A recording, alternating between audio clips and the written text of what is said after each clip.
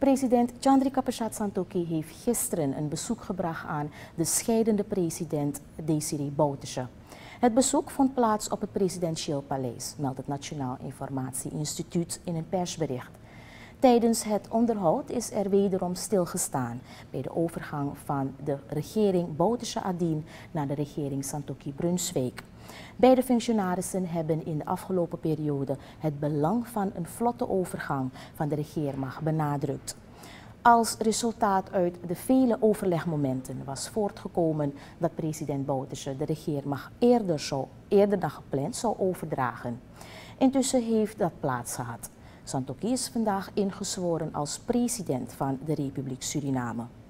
De ceremonie heeft plaatsgehad tijdens een bijzondere openbare vergadering van de Nationale Assemblée, die gehouden is op het Onafhankelijkheidsplein waar de vergaderzaal naartoe verhuisd was. Deze ceremonie was live te volgen via ATV en verschillende andere tv-stations.